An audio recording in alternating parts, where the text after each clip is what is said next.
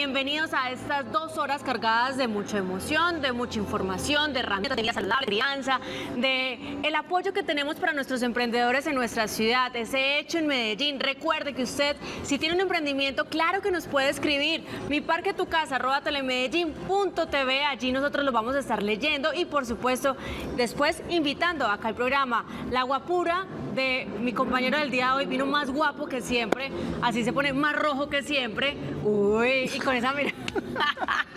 Mano y su tiro de guapura. Ah, ¿yo qué hago pues? ¿Cómo estás? ¿Cómo muy bien, vas? Manu, muy ¿Cómo bien, te ha muchísimas ido? gracias, excelente. Y ya que estás hablando de invitación, pues Manu, eh, te quiero hacer una invitación. Cuéntame. La invitación es a que nos manifestemos el Sí. cariño, nos manifestemos el amor. Yo quiero confesarte y decirte así, ante cámaras hoy en este programa, Manu, te quiero mucho.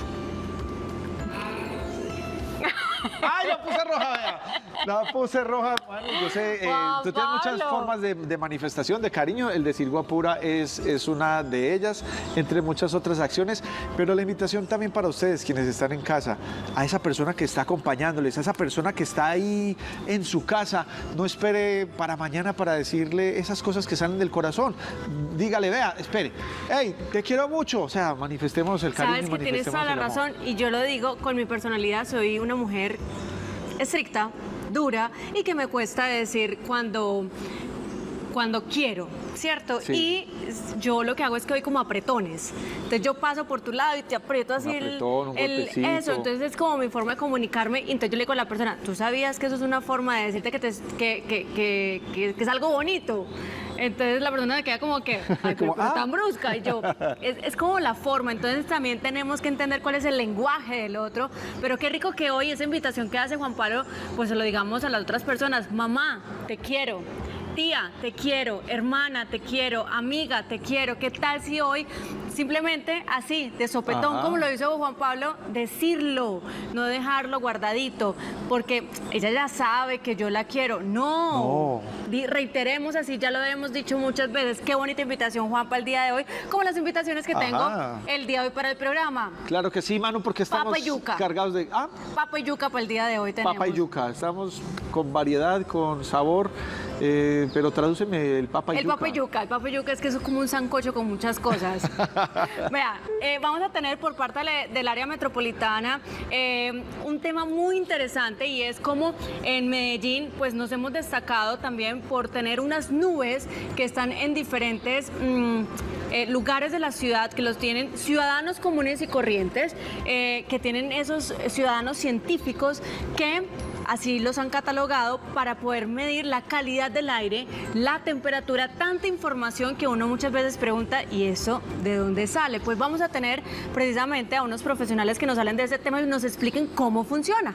Qué bien, Manu, ese tema. eh, aquí a aprender, yo ni tenía la menor idea de las Sí, señor. que se Desde el pueden instalar 2015. En la casa. Sí. Y hablando entonces de la calidad del aire, pues, ¿qué tal si hablamos de la calidad de nuestra respiración? ¿Cómo están nuestras fosas nasales? ¿Cómo podemos tener un día más tranquilo? Porque es que en la nariz entra todo. Pero filtro, cuántas, sí. exactamente, y cuánto le dedicamos nosotros a cuidar este filtro que tenemos aquí. Entonces vamos a aprender sobre los lavados nasales, pero no solo en niños, sino también en adultos, porque nos compete a todos. Así es, y por supuesto tendremos un hecho en Medellín, apoyo a esta compra local, tendremos unos perritos, uy, qué rico, ¿se acuerda cuando uno, eh, o pues uno todavía lo hace, sale a la calle, eh, qué bueno pues esta comida eh, que tenemos urbana y podernos comer un hot dog, como se dice, eh, lo vamos a tener acá, vamos a preparar, vamos a conocer de ese emprendimiento y por supuesto nuevamente los invitamos a que nos escriban mi parque tu casa telemedellín.tv. Así es, y en Crianza con Amor Sí. vamos a tener una súper invitada. Ella es Yo Soy Cami Gaviria, así la encontramos allá en redes y es una abanderada de la niñez, del trabajo por nuestros niños, por nuestras niñas. Y vamos a estar hablando un tema con ella, eh, porque hay mucho Sí. para sacarle jugo a esta invitada que ha estado relacionada con muchos programas eh, en nuestra ciudad. Entonces vamos a aprender hoy en Crianza con Amor. Me gusta, Juanpa. ¿Me recuerda, por favor, la línea telefónica? La línea es muy sencilla. Recordemos que ah, el sistema de Sí. marcar las líneas telefónicas ha cambiado. Entonces, 604 268-6030. Es más, yo quiero hacerle también una invitación a nuestros televidentes. Sí. Normalmente nosotros aquí tenemos invitados, damos consejos y compartimos, pero ¿qué tal si el consejo esta vez lo recibimos de ellos hacia nosotros? Supongamos que hoy estoy tristecito, estoy como alicadito, como, como bajito de ánimo, entonces ¿Qué me diría usted para levantarme el ánimo? Llame ya al 604-268-6030 y vamos a compartir este programa y hacerlo bien especial con su participación. Así es, y nos vamos de una vez con esa cápsula de bienestar que tenemos aquí en mi parque Tu Casa por parte de la psicóloga Meli Flores.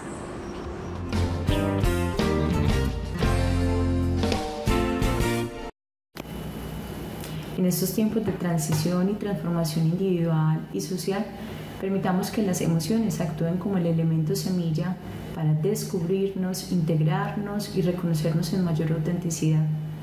Es momento de que le demos espacio a aquellas expresiones emocionales que hemos querido evadir, obviar, negar, porque con seguridad si nos detenemos en su escucha, en su vivencia, podremos encontrar grandes sentidos y profundidades para nuestro autorreconocimiento. Las emociones aparecen para que conectemos con el universo interno y para que desde allí verifiquemos cuáles son aquellos asuntos que no hemos podido resolver y esas otras potencialidades que podríamos estar poniendo al servicio de nuestra vida y de la vida de los demás. La invitación es a que entremos en contacto, creemos el puente comunicativo con la emocionalidad para que descubramos desde allí grandes formas y mucho más profundas, equilibradas y de bienestar para el relacionamiento con nosotros y con los demás.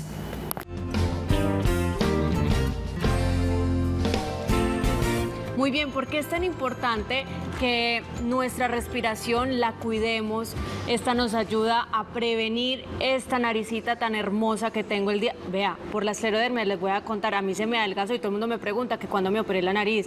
Tantas cosas que pasan en una enfermedad y cómo uno tiene que aprender a cuidar todo el tema de ese órgano y cómo nosotros tenemos que aprender de este para prevenir enfermedades y respirar mejor para tener un sueño reparador. Por eso saludamos a esta hora a Marcela Montoya, ella es terapeuta respiratoria, que hoy nos va a estar hablando de ese tema y de otro muy interesante que a través de los padres yo veo mucho y es el lavado nasal y cuando uno ya está adulto uno ya no piensa en eso y creemos que solamente para los niños. Señorita, ¿cómo estás? ¿Cómo te ha ido? Manu, qué alegría estar acá. Muchas gracias por la invitación. Muy bien, adelante Juan Pablo, usted empiece, tranquilo. Bueno, arrancamos entonces con nuestras preguntas, preguntas que ustedes también pueden realizar si llaman a nuestro programa. Pero Marce, ¿por qué es importante eh, prestarle atención a la nariz cuando pues, llega a cierta edad y como que o sea, nos lavamos los dientes, nos lavamos muchas partes del cuerpo, pero la nariz la dejamos ahí como quietecita. Juanpa, mira, yo creo que hemos perdido atención en la respiración, por eso también se nos olvida la forma de respirar. La nariz es el filtro, calienta, humidifica el aire que respiramos. En el ambiente siempre van a haber agentes que nos pueden hacer daño, virus, bacterias, pues lo hemos visto con esta situación de pandemia, pero no pensamos en todas esas funciones de la nariz. De hecho, salimos a hacer deporte y los vemos a todos respirando por la boca. Cuando yo entendí esas funciones con tanto detalle, dije, no, aquí hay mucho por hacer en la sociedad, en nuestros niños. La técnica del lavado nasal viene tomando fuerza hace 30 años para acá. A mí de niña nunca me lavaron la nariz, a ti seguramente tampoco y a Manu tampoco. Y nos adaptamos a respirar por la boca. Eso desarrolló una inflamación en nuestras vías aéreas, a mí me quitaron las amígdalas, me quitaron las adenoides, desarrollamos alergias, desarrollamos asma, con un hábito tan importante que no hace parte de nuestra cultura y es lavarles la nariz, higienizarnos la nariz. Listo. 604-268-6030, si usted tiene una inquietud, en este momento puede llamarnos y hacerla. ¿Cómo sé yo que estoy respirando y cómo sé cada cuánto me lo debo hacer o si tiene que ser parte de un hábito o una rutina? Manu, mira, hay dos órganos en los que interiorizamos las cosas y van a nuestro interior. Uno son los alimentos y el otro es la nariz, pues los ojos, los oídos, no, por ahí no entra el tacto menos, pero en mayor proporción el olfato y la boca. Nosotros nos higienizamos la boca tres veces al día. Sí pero no nos lavamos la nariz. A veces cuando la sentimos como muy atogada, nos sonamos y ya está. Pero hay que recordar la anatomía tenemos senos paranasales, que son unos, unos espacios que forman los huesos Sí. de la cara y que ahí también se acumula todo lo que recogemos. Lavarnos de la nariz, primero en cuadros respiratorios, donde hay más eh, aumento de secreción mucosa, donde el cuerpo se está tratando de defender de algo y no le- vamos a ayudarle. Mucho moco, vamos a ayudarle a que quieres sacar del sistema respiratorio. Lo otro es personas que trabajan bajo condiciones distintas, la construcción, la minería, bueno, hay, hay un- montón, lo- los, agentes de tránsito que todo el tiempo están afuera recibiendo polución. Realmente yo lo hago como un hábito antes de dormir. Porque ¿Todos los días? Todos los días Así. Porque eh, pues hablaremos también más adelante del tema del sueño y cómo la respiración nasal mejora la calidad de sueño. Ay, ay, ay. Todos los días, Todos los caballero. días. ¿Y, y, y, y cómo debe serse entonces esto, Marcela, para, para no afectar el funcionamiento pues, de la nariz? Porque, por ejemplo, con los oídos, antes le dicen, no, no, no se lave los oídos, no se toque los oídos porque los puede afectar, pero en la nariz, ¿cómo debe realizarse entonces es el lavado nasal? Bueno, tenemos dos maneras. Una casera, preparar nuestra solución salina casera, hervimos un litrico de agua, le ponemos media cucharada de sal, marina, sal rosada o sal de cocina. Le ponemos la sal porque nuestro cuerpo, nuestro pH es agua con sal. Eh, y mm, le podemos adicionar un poquito de bicarbonato para darle un poco más de hidratación a esa mucosa nasal. Tenemos el agüita en el baño, ahí está tapadita siempre. Y con una jeringa o unas botellitas que conocemos, los yogis lo conocen como netipot o unas jarritas, pones del agüita y te lavas la nariz antes de dormir. Así. Sí, si es una jeringa, pones la cabeza inclinada hacia adelante, instilas por una fosa nasal y ella va a salir por la otra fosa nasal. ¿Y si no es con jeringa? Y si no es con jeringa, con la jarrita, pasas de un lado, pas- te echas por una fosa y pasa por el otro lado. Oh, por Dios santo. Te suenas, aquí tenemos las cobanas, que es la unión de las fosas nasales, no pasa absolutamente nada. Te suenas y pruébalo. Manu, tienes que probarlo. Es que les digo que a mí eso como que, ay, ay, ay, como que me, me descongela, como que yo no sé qué me pasa, pero hay que probarlo y hay que hacerlo y más cuando hablamos de salud. Tenemos llamada. Gloria desde el centro. Hola, ¿cómo estás? Muy bien, ¿y tú? ¿Cómo estás? ¿Cómo vas? Muy contenta con el programa. Muchas gracias a ustedes por todo lo que nos acompaña. Gracias a ti, por Gloria. Dios, que es esa emoción. Gloria, ¿tienes alguna pregunta para nuestra invitada o le vas a dar el consejo a Juan Pablo que está aburridito hoy? No, supongamos. ¿Ah? Eh, Ambas. Juan Pablo, me parece que la parte espiritual es muy importante. No estamos solos, no somos materia solamente, sino también espíritu. Qué bonito, es cierto. Gloria. Qué bonito ese mensaje. Y para nuestra invitada, ¿qué, le- qué le quieres preguntar? Muchas gracias. Eh, yo veo que las personas se cortan los vestidos de la nariz. Yo creo que no sé cómo se lo arreglan, para qué. Es necesario porque se debe Gloria, ¿eso es conveniente o no? Gloria, qué pena, discúlpanos, te interrumpimos, pero eh, tenemos un problema de señal, entonces está muy intermitente. Si nos puedes repetir entonces la pregunta un poco más despacio y, y volvemos a intentar, ¿te parece? Por favor. Muchas gracias. Adelante, Gloria. Sí, gracias, que yo veo personas que maquillan los de la. Gloria, hagamos una cosa. Van a recibirte la llamada por el interno, haces la pregunta y nos las trasladan y nosotros podemos hablarla y decirla. Listo, Gloria, gracias por tu llamada, gracias por el consejo que le diste a Juan Sí, Pablo gracias. y seguramente que la pregunta que tienes será súper pertin- pertinente. Eh, Listo, me estás diciendo que lo voy a hacer de esa forma. ¿En el mercado también puedo comprar eh, algo para esto o no? Pues ¿O es el- mejor hacerlo casero? En el mercado encontramos soluciones que venden, digamos, como mm, no publicidad engañosa, pero que tienen más ingredientes. Realmente Entonces podemos hacerlo caserito en la casa. Todas las noches eh, sería lo recomendable. Eso lo estamos hablando para los adultos de forma consciente, así como nos lavamos los dientes, nos cepillamos los dientes, pues también hacerlo. Pero si nos vamos para los chiquitos, ¿qué es? Pues es el cuidado más importante en el menor de tres años. El menor de tres años no aprende a sonarse hasta que se hace un niño con fuerza, que recibe órdenes. Entonces, casi hasta los cuatro no se suena con fuerza. Cuando están con un cuadro respiratorio, varias veces en el día. Lo contabas ahorita, yo veía a la niña, el niño con moquitos y pasamos todo ese proceso lavándole la nariz. Entonces es el cuidado más importante del niño menor de tres años. Muy bien, tenemos ya la pregunta de doña Gloria. Eh, voy a intentar porque a veces uno puede interpretarla de varias maneras, pero doña Gloria tenía una inquietud con respecto a las personas que se hacen una cirugía eh, nasal. Eh, si eso puede tener Voy con las dos. Sí. Porque, pues, no sé si doña Gloria quería eh, preguntar si el hacerse la cirugía podría tener como contraindicaciones eh, para la respiración o si quien se hace la cirugía eh, al aplicarse un lavado nasal pues le podría funcionar o no. Sí, muy válidas. Bueno, entonces cuando nosotros tenemos infecciones recurrentes o inflamación recurrente de nuestras fosas nasales, los cornetes empiezan a ponerse grandes y requieren cirugía. ¿Podemos prevenir la cirugía con cuidados respiratorios? Sí, cierto, habrán casos en los que pues, la única opción sea la cirugía, pero yo siempre soy muy abanderada de la prevención, de los buenos hábitos, del cuidado, y si podemos prevenirla, maravilloso. Ahora, me hicieron la cirugía, parte del posoperatorio, parte de esa recuperación va a ser el lavado nasal. Y pues seguir manteniendo esa higiene nasal para, pues, para que la cirugía dé los resultados que, pues, el, médico esperaba.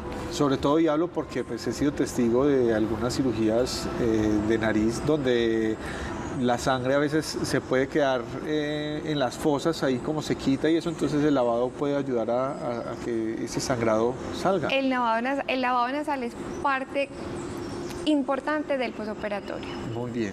Muy bien, tenemos llamada hasta ahora. ¿Me repiten por favor el nombre de la persona? Dora María, hola, ¿cómo estás? Hola, ¿cómo estás, muñeca? Feliz de escucharte. Dime la verdad, ¿de dónde estás llamando? De Canadá, de, un municipio que se llama Bromont, en las afueras de Montreal. Ay, no, no, no, no, pero que es esta emoción, esta llamada internacional. Me dijeron por el interno, es desde Canadá, y yo, ¿es en serio? ¿Cómo así? Contanos cómo nos ves a través de... ¿Cómo, cómo estás conectado con mi parque, tu casa? Con una aplicación del de, iPhone que va a dar a un aparatico que se llama Roco. El Roco lo pego del televisor y con el celular le mando las imágenes que quiera escuchar. Yo soy feliz con eso. Eh, María Dora, qué rico. pero obviamente todo el tiempo estoy viendo con mis canales paisas, mi hija. Ah, María, pues, qué dicha que nos ves, desde por allá, desde esas tierritas. Yo pensé que era una broma de nuestro coordinador que desde Canadá, pero era porque la finca se llamaba Canadá. Ah, era por eso, ya. Dora, ¿qué, nos quieres contar? ¿Qué nos quieres preguntar? Tengo que decir a todos una cosita, vean. A la mamacita de la Manuela, que me encantaba cuando tenías el cabello rosado, porque es la única que yo he visto que ese cabello rosado le quedaba hermoso. Hermosa, voy con ese cabello rosado cabello rosado. Listo, voy con ese cabello rosado nuevamente. Me gusta. Ok, bueno. Al papacito, que, bueno, que estuvieras triste porque siempre tienes la mejor actitud del mundo, decirte que el mero hecho de despertar, con eso ya tenemos para estar felices ya despertamos, ya lo demás sale sobrando. Muy bien, qué bonito ese mensaje, Dora. Es una suposición, pero esos consejos nos ayudan mucho porque no sabemos hoy quién se haya levantado triste, quién se haya levantado aburrido y todos esos consejos que ustedes me están dando a mí nos sirven a todos. Qué bonita. Dora, ¿tienes alguna pregunta para nuestra invitada? Sí, claro, es muy importante lo que tengo que decirle. Primero, que yo fui cuando era sardina aventurera y loca y me iba hasta la Guajira echando dedo. Entonces conozco una Guajira que sí que le succionaba la nariz a los niños. Y desde mi primer hijo, que en este momento tiene 40, de que siendo bebés, yo le succionaba siempre la nariz y entonces yo jamás tuve un hijo mocoso. En este momento tengo un nieto de 5 años y una cosita hermosa de 10 necesitos. En este momento tiene un poquito de gripa y, solamente en estos días dijo una doctora acá que por la gripita del bebé que era súper importante mantenerlo siempre desconexionado. Y yo sin saberlo toda la vida lo he hecho, toda la vida. Bebé que yo cuide de menos de tres años, como dijo ella, bebé que yo succiono y mantienen súper bien esa nariz. Qué bien. Y con respecto a la cirugía, mi niña menor acaba de hacerse una cirugía porque imagínate que resultó con una perforación septal de, a, consecuencia de unas cirugías que le hicieron. Tantas, tantos tubos que le colocaron le rompieron la nariz y ah. acaba de tener una cirugía y si vieras cómo le está yendo de bien, porque muy juiciosa se hace esos lavados con la solución salina que yo le preparo. ¿Cómo te parece?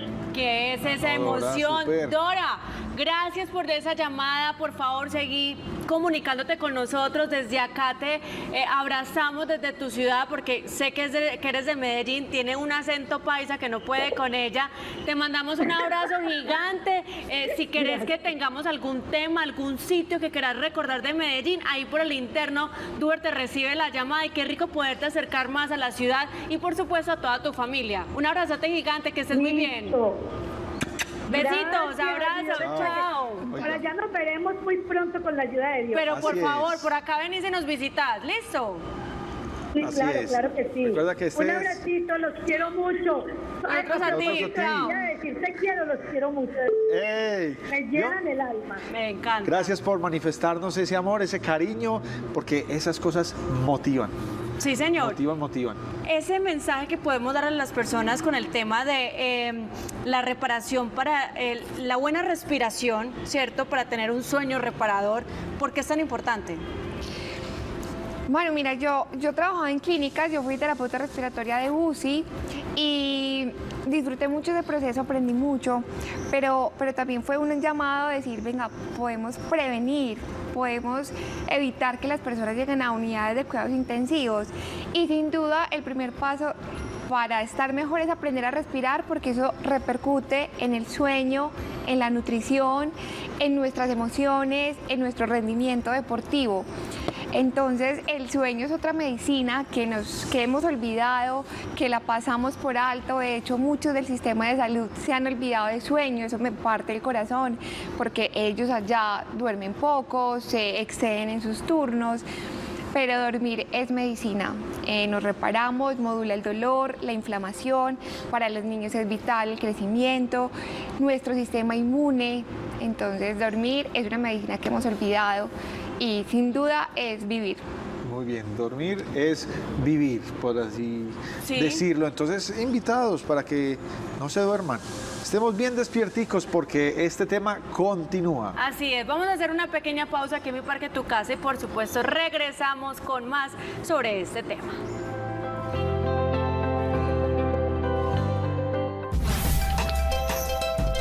Estás viendo Mi Parque Tu Casa.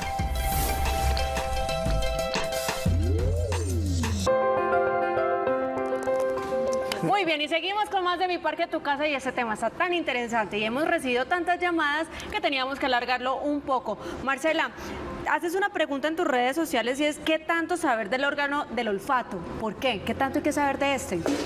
Pues Manu, te digo que hemos perdido mucha información o, no le prestamos eh, atención a la información que llega por el olfato. El tema de las feromonas, o sea, todo es activado a través de la nariz.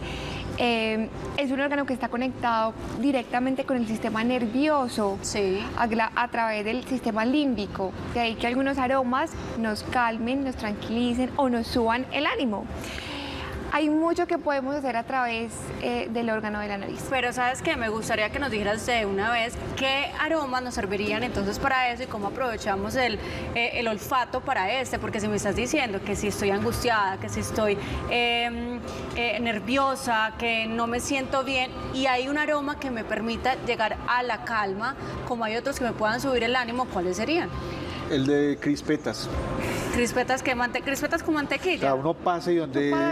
Uy, ah, huele a crispetica. Eso levanta el ánimo porque lo levanta. Pero no, ya siendo realistas, eh, ¿cuáles serían? Vámonos con otro tipo de olores.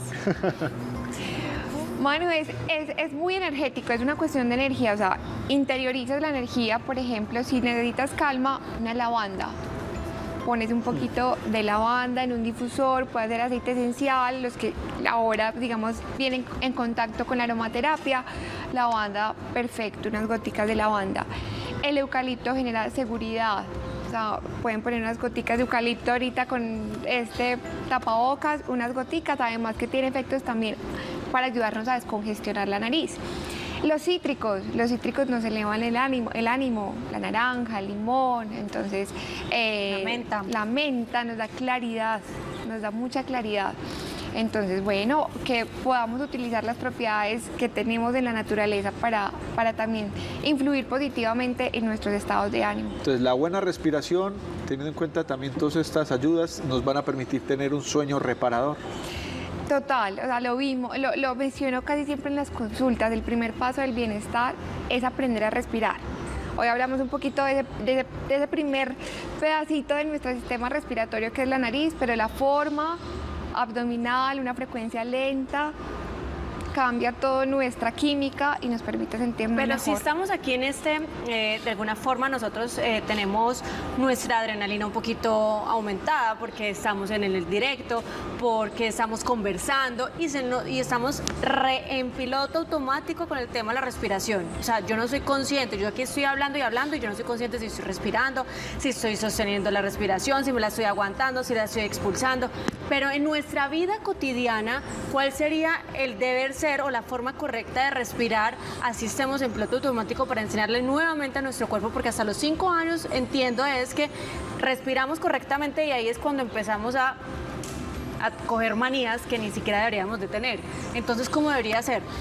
Tú que estás hablando y haciendo como el día a día, ¿cómo lo haces? Tener presente, mano, es muy importante que mi respiración correcta es nasal y abdominal abdominal. Yo recuerdo la primera vez que los acompañé, que me dio mucho nervio, yo simplemente me llevé una mano al abdomen y llevé mi atención a la respiración abdominal.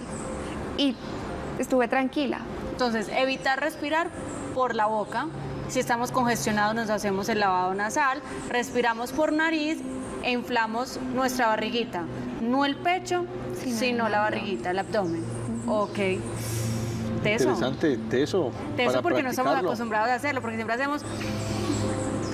Así es, pero esa respiración sin duda entonces bien realizada nos va no solo a, permitir tener un sueño reparador, sino también un estilo de vida más saludable, más cómodo con nosotros mismos. Marce, tus contactos, redes sociales, mejor dicho, dinos todo para seguirte. Bueno, me encuentran en eh, Instagram, YouTube, Facebook como Respira Más Vida, porque sin duda aprender a respirar es vivir mejor y vivir muchísimo más. Me encuentran, eh, pues por ahí tengo la opción de consulta, el que necesite pues como ayudarle a todo el tema respiratorio, por bienestar o porque está pasando por una enfermedad respiratoria, súper bienvenidos. Eh, y bueno, voy a aprovechar para hacer una cuñita. Yo quiero hacer una campaña de lavado nasal a las comunas más alejadas de nuestra ciudad, a las mamás con pocos recursos.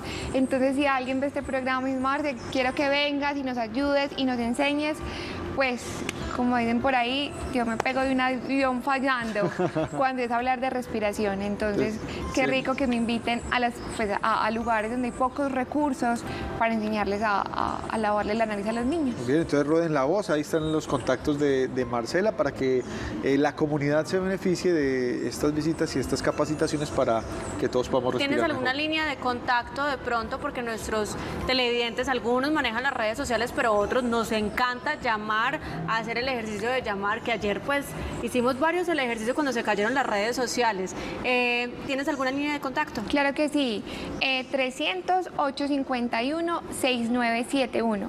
Perfecto. Marcela, muchas gracias. Siempre bienvenida a mi parque, tu casa. Siempre nos enseñas cosas nuevas y qué rico, pues aprender y convertir el lavado nasal en un hábito, hacerlo todas las noches, juiciosito. Si usted tiene alguna duda, si quiere repetir, si usted eh, está en este momento en una comuna, una comunidad que necesite este apoyo para sus madres, pues se reúnen todas en un parque. Marcela se dispone a ir y ayudarles con todo ese tema. Es una terapeuta, es una persona profesional en el tema. Ojo, que sean profesionales los que se acerquen de salud es sumamente importante, así que de una vez gracias por estar acá, gracias por ese acto que vas a hacer y que seguramente cuando lo hagas nos cuentas que bueno poderlo replicar. No, yo feliz con esta invitación de compartir este conocimiento, eh, porque realmente, realmente creo y confío en todo lo que llevamos adentro y la respiración es el primer paso para vivir mejor. Muy bien, y si ya hablamos entonces del cuidado de la nariz, ¿qué tal si vamos entonces con el cuidado de Ay, ay, uno que se hace loco para cuidarse los dientes. Pero Heidi nos tiene una muy buena recomendación por parte de Odontos. sí, así somos muchos los que a través de pantallas admiramos y decíamos historias, algunas de amor, algunas de alegría, otras de ilusión, otras de compañía. ¿Sí ha puesto a pensar que el protagonista de estas historias puede ser usted? Y es que nada más real como el amor propio, sentirse seguro, sentirse bonito, sentir que da y genera confianza. Y nada más real aún que nuestra carta de presentación son los dientes y que son estos los que a través de la sonrisa nos permiten socializar, disfrutar en familia, enamorar. Pero muchas dudas surgen alrededor de los tratamientos de rehabilitación, en especial cuando se trata de decidir cuál es el adecuado para cada paciente. ¿Usa usted prótesis dental? ¿No se le ven los dientes al sonreír? se le cae la prótesis cuando habla, cuando estornuda. Lleva más de 5 años con su prótesis dental. Esta nota es de su interés. Televidentes, muy buenas tardes. Gracias por permitirnos entrar a sus hogares con información vital para el cuidado de la salud oral. Lo decíamos, muchas dudas surgen alrededor del tema de las prótesis dentales, en especial cuando ustedes quieren saber cuál es la prótesis adecuada, cuál deben utilizar. Lo primero que deben tener presente televidentes, deben venir a una consulta de diagnóstico y cuando hablamos de una consulta de diagnóstico no es saber qué valor o cuánto cuesta una prótesis dental. Cuando hablamos de una consulta de diagnóstico es revisar todos los tejidos. Lo primero, saber cómo está el hueso, cómo está su paladar, cómo están los dientes, cómo está el soporte donde está anclada en este momento la prótesis dental. Después de tener ese diagnóstico completo y tener la revisión de los tejidos, podemos tomar una decisión con respecto a qué tratamiento es el más indicado. Ahora, ¿cuál es la duda que me surge en ustedes? Si las prótesis que deben utilizar son las totales o son las parciales o si definitivamente tienen que usar prótesis fija. Esto nos lo va a indicar solamente el diagnóstico. Ahora, si usted quiere entrar a conocer un poco más de estas prótesis, le cuento, las prótesis son elementos artificiales que como tal cumplen ciclo de vida. ¿Qué quiere decir esto? Que hay que cambiarlas. ¿Cada cuánto se deben cambiar las prótesis dentales? Cada cinco años. Cuando usted no hace ese cambio en el momento indicado, estas prótesis empiezan a desajustarse. Por eso, cuando ustedes vienen al tratamiento y empiezan a ver los cambios, como están viendo en este momento, los antes y los después ven tanta diferencia. Claro, los soportes de las prótesis dentales están sobre los tejidos adecuados. Esto hace que ustedes se vean mucho más rellenitos, como ustedes mismos lo manifiestan en el consultorio, y se vean mucho más bonitos. Adicional a esto, estas cúspides de los dientes empiezan a desgastarse. Por eso, muchos de los que sonríen con prótesis dental actualmente no se lo ven los dientes. Es el momento de cambiar la prótesis dental. Cuando hablamos del cambio de la prótesis dental es porque sus tejidos cambian. Con el tiempo vamos perdiendo masa muscular, nuestra encía y nuestro hueso se vuelven mucho más pequeño. Por ende, la prótesis empieza a sentirse floja. Cuando usted no hace el cambio en el momento, este hueso, que es el soporte para la prótesis dental, está tan pequeño que ya no lo podemos rehabilitar con prótesis dental. Es ahí donde empiezan a hablar sobre o donde empezamos a hablar sobre implantes dentales por qué los implantes dentales son la mejor opción y en algunos casos incluso la única alternativa, porque ya una prótesis no se va a acomodar a los tejidos y va a empezar a bailarle, no va a tener dónde anclarse. Lo real pacientes es que ustedes deben asistir a consulta para poder hacer un buen diagnóstico y saber cuál es el tratamiento indicado, que si la prótesis flexible es la adecuada, que si la prótesis total es la indicada, esto solamente lo vamos a saber en el momento que le hagamos una valoración completa, donde tengamos un diagnóstico completo de todos los tejidos y cómo está. Por favor, no se quede con las dudas. Llámenos. Una línea única, 604-444-0062, lo comunica con nuestras siete sedes. No más miedos, no más excusas. Estamos ubicados estratégicamente. Estamos en Laureles, en el centro, en Envigado, en Río Negro, en Sabaneta, en Bello e Itagüí. Dese la oportunidad de cambiar, dese la oportunidad de sonreír, dele esa segunda oportunidad a su sonrisa que tanto la necesita. Y si usted es de los que dice, no, ya para qué, yo le garantizo, paciente, cuando usted viene y ve el cambio, va a entender que sí valió la pena. Línea única de odontos, 604-444-0062. Adicional a esto, en Odontos siempre tenemos oportunidades para que ustedes tomen el teléfono en este momento y se conecten con nosotros. Si usted es un paciente que necesita dos prótesis dentales, paga una prótesis dental y recibe sus dos prótesis dentales. Si usted es un paciente que tiene algunos dientes naturales en boca y necesita una prótesis parcial flexible, tiene un 25% de descuento. Televidentes, Dese la oportunidad y denos la oportunidad de ser parte del cambio. Y recuerden, en Odontos somos profesionales de la salud oral, pero más que eso, somos personas atendiendo personas. Hablemos con confianza. Odontos, sobre todo, humano. Economía y calidad, Odontos, Odontos sobre todo humano. Estás viendo Mi Parque, Tu Casa.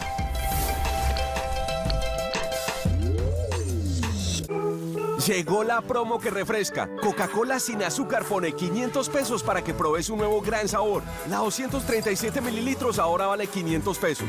La 350 mililitros 1000 pesos. Y la 1.365 2000 pesos. Es por tiempo limitado. Más info en coca-cola.com.co.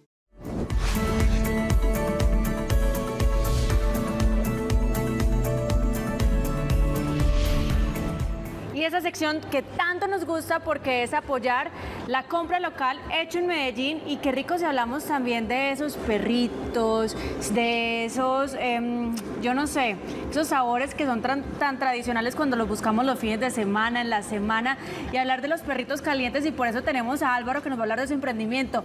Álvaro Salazar, bienvenido a mi parque, tu casa, ¿cómo estás? Muy bien, ¿y tú? Encantado de estar acá en Telemedellín. Cuéntanos un poquito de tu emprendimiento, ¿de qué se trata? Mira, el emprendimiento empezó primero por una página de memes Sí. que tenemos y la página se fue viralizando, con, pues, haciéndose conocer muy en Me- mucho en Medellín. Sí. Y quisimos ah, montar un negocio asociado a la página. Entonces pensábamos, eh, ¿qué montamos? ¿Qué esto? Y vemos que la gente en Medellín le gusta mucho como salir a comer el perro eh, Tradicional. tradicional. el- Sí. eh, y acá montamos el perrito cebolludo con guacamole hecho completamente natural, tomate también natural. Y la verdad hemos tenido gran acogida ya que llevamos apenas alrededor de 3, 4 meses y ya estábamos en varios eventos, nos han invitado a matrimonios, a cumpleaños, en eventos empresariales y ha sido, pues, no sé, Una bendición para ustedes. Exacto. Para poder Genial. trabajar y hacerlo. Así nace entonces el desenganche y los perritos de la esquina del desenganche. Y contanos, Álvaro, ¿en qué consideras vos que este perrito se diferencia de los otros perritos que uno puede encontrar? Ve, yo creo que cuando las cosas eh, se hacen naturales, el guacamole de nosotros es completamente natural. Y segundo, el pan para mí en los perros debe ser demasiado caliente Uy, y una así, pues a vos te dan un Y pan frío, exacto, que se caliente en el baño María, bien calientico. Y segundo, que cuando se lo hacemos a la gente, se lo hacemos como con el amor y como con la parte jocosa de la página, entonces le decimos, ve, ¿querés esto? Nuestras salsas tienen, digamos, unos mensajes bacanos que, que no dice, ve, esta es la piña, no, sino piña para la niña, estas son cosas así, ¿sí me entendés? Oiga, pero fundamental lo que nos comparte Álvaro porque me he llevado chascarrillos, a mí me encanta la comida callejera, me Sí. fascina, y me he llevado chascarrillos porque si esto se llama perro caliente, que sea un perro caliente, no un perro siberiano eh, frío, helado, congelado, como a veces uno lo puede encontrar en muchas partes. Podrías contratar a, Sí, a Juan sí. Pablo para No, del- pues que Álvaro ya memes. lo es borra otro nivel. esos memes, esos son Ah, otro. Muy bien, entonces vamos a preparar entonces un perrito. De vamos una. a saber pues que lo que lo que tienen ustedes, pero sabes que tienes razón. Yo siento que en los perritos es fundamental el tema del pan, que sea suavecito, calientico, porque muchas veces a uno se lo dan calientico, pero es muy arenoso. Así es. Ah, no, no, no, no. No, pero, perrito. pero uno no, vamos a preparar varios para que ustedes mismos también los, los aprendan a hacer. Vea, vamos a preparar varios y le tengo piña para la niña. Ajá, ¿qué más Barbie Q. Mayonesa más roja y listo. Échele mostaza, la salsa roja, esta mayonesa amor, la salsa del desenganche, Nea, esta la de maíz y esta es la que pica. La que usted quiera a mano. no sé cómo les gustará a ustedes y vamos a hacer ya los perritos. Voy a hacer entonces inicialmente unos, les muestro cómo se hacen Sí. y ya de ahí ustedes Ya hacen- nosotros lo, lo montamos. Sí, claro. Listo, me gusta. Espero Eh, que le quede mejor que el mío, ¿listo? Ah, no, pues que si le queda mejor que el... si me Montamos queda negocio. mejor, montamos negocio. De Listo, hágale pues. Listo, yo tengo mi toque, ¿cierto, Juanpa? Manu tiene su toque, Manu está descubriendo sus Ay. nuevos talentos y la cocina es uno de ellos. Me quiero aprender a cocinar, quiero meterme con un cursito de cocina y todo porque me ha gustado el tema de, de la cocina, cómo hacer lo que tiene. Todo el mundo hablaba con el guacamole, ah, sí, que sea natural y que sea rico, pero eso tiene su ciencia, tiene su saborcito para llegar a ese punto y además que ustedes lo hacen en mucha cantidad y que no pierda ese sabor en ningún punto, pues como el proceso. ¿Qué aprendizajes como emprendedores han tenido? La verdad, eh, creo que cuando uno se enfrenta a su primer negocio, es un aprendizaje que pues como que uno no, no identifica y es saber dónde comprar esto, dónde empezar a surtir. Y la gente piensa que un negocio solamente es, hola, te estoy vendiendo el perrito, hola, te estoy vendiendo esto. No, es la cantidad de cosas que vienen detrás de conseguir los insumos, conseguir todo.